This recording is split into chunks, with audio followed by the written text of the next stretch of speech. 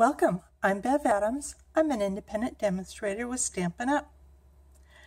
I can't wait to show you the new catalog. This is the cover and you can see some little hints of what's inside. I just love the catalog and I know you will too. If you have purchased from me in the last six months, you will get one of these in the mail. If you don't have a demonstrator and you'd like to get one, shoot me an email and I'll get one to you. I have been busy at work helping myself and you get organized. Let me show you some of the things that I will be posting tomorrow. Stampin' Up! will be releasing images on August 25th. I think that's when I can share my organizational tips. I don't want to be in violation of the rules, sharing too much too soon.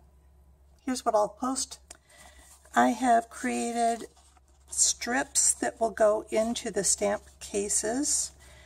But I put the recommended blocks and I also put, for instance, if it comes in both wood and clear, I put both numbers on here. I put how many items in the set.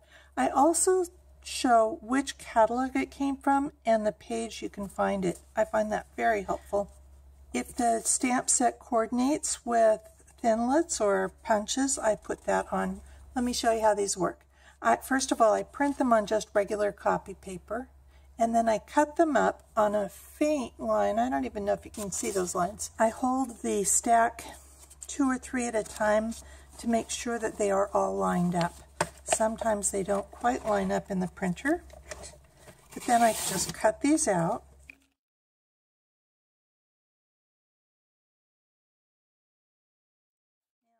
One thing that I have to warn you about, they are in alphabetical order, top to bottom, but as soon as you want to stack them up, you have to put them back in alphabetical order. So I like to keep my stacks in order.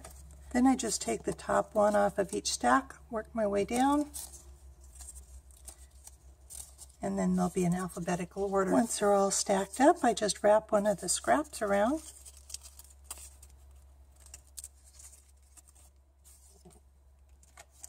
add a little adhesive. Don't wrap it too tight because you want to be able to pull those out the, when you purchase your stamps. If you only buy a few stamp sets, you can print one or two sheets. That's okay. I go ahead and print all of them.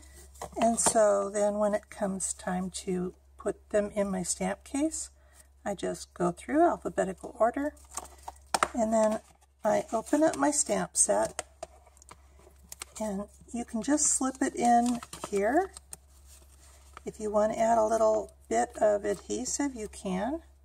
But I find that they usually stay put, just like that, as soon as you close your stamp set. And I usually keep this. Our stamps come with directions on how to um, assemble them. But I always keep those sticker sheets right in there. And then it's ready to go. So I have all the information I need. I do have it color-coded. I This year I used the same color as the annual catalog. And then the recommended blocks and the coordinating products are on the back.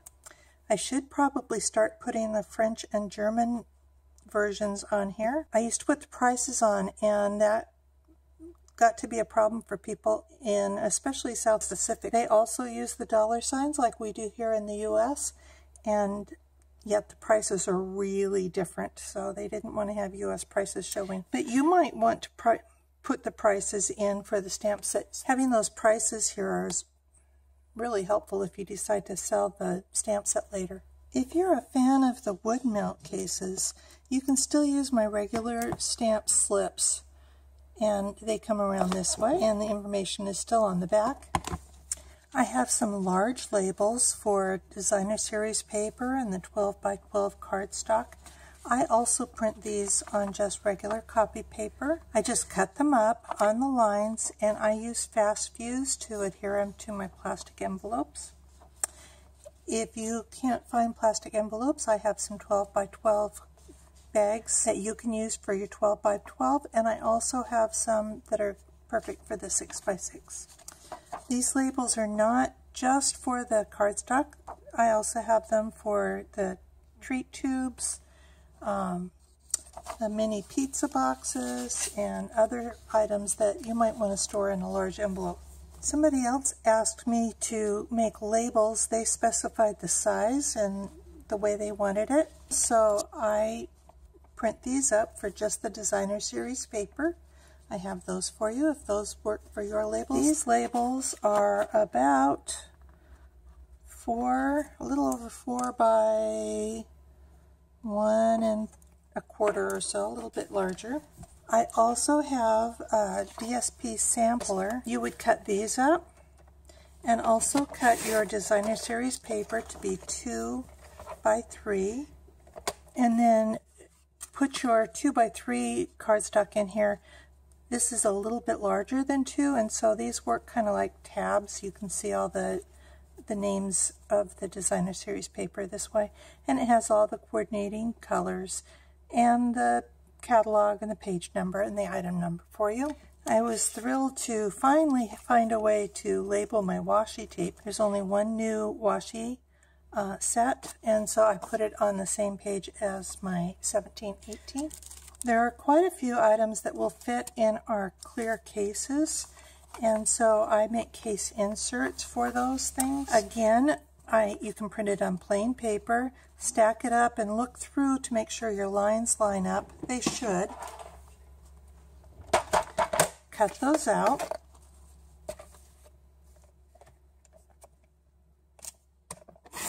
And I print these up just for the items that I purchase. These take a full sheet each.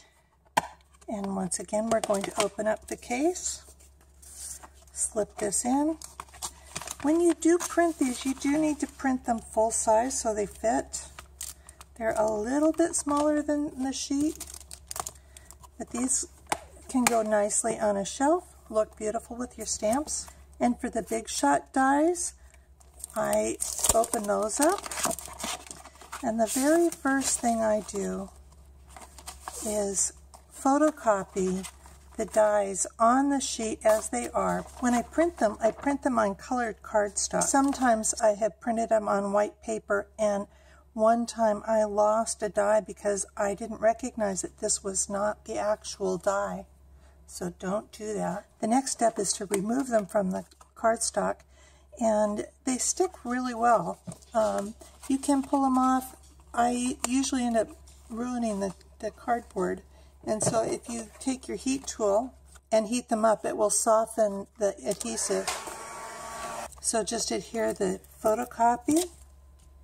I like to keep mine on magnetic sheets. I got my magnetic sheets from Amazon as a stack of 8.5 by 11, and I'm doubling them up by putting them on the card on the cardboard that it came on. And I know exactly where they go and I know for sure for sure that they will fit in this package. And I can easily spot which ones where they go and which ones might be missing. And I love this method once you have them here you can put them back in the package I usually put this on the back slide them in. And sometimes I cut this down so it fits in there easily. So I can see what it is on this side and I can see what it is on this side. And I have labels that I can put on these packages. And I usually put it on the side without the ridges. And I put it up here. And so I file them in my box like that. But some people like to keep them in the cases, so I also make case inserts for these. Now, if you're going to do this, I probably would just adhere the, the magnet sheet directly to the case, or because I didn't, I can adhere that to the case. and that can go on my shelf like that. I kind of whizzed past my little labels. I make little labels for everything else, basically. I find these especially wonderful for embossing folders and for the punches. Love this cat punch. Um, the cat, the punches don't have any kind of name on them, so I find them especially helpful for naming these punches. So I bought the cat punch, the leaf punch, and I think one of my favorite is this label punch. And I couldn't remember the name of it, but here it is, the Everyday Label Punch.